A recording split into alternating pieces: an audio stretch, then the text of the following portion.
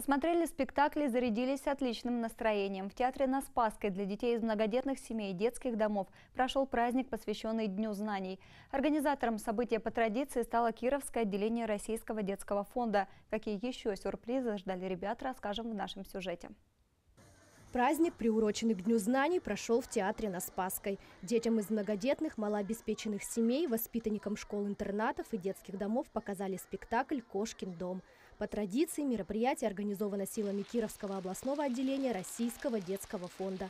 Со словами поздравления обратился к школьникам председатель областного законодательного собрания Владимир Быков. 2 сентября в области 135 тысяч пойдут в школу. Это начиная с первого класса и заканчивая выпускным классом.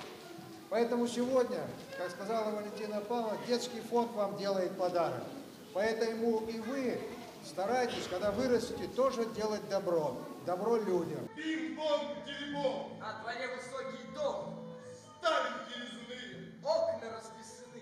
После представления детей ждал еще один сюрприз. Ребятам подарили книгу с автографом известного писателя, нашего земляка, главы Российского детского фонда Альберта Лиха.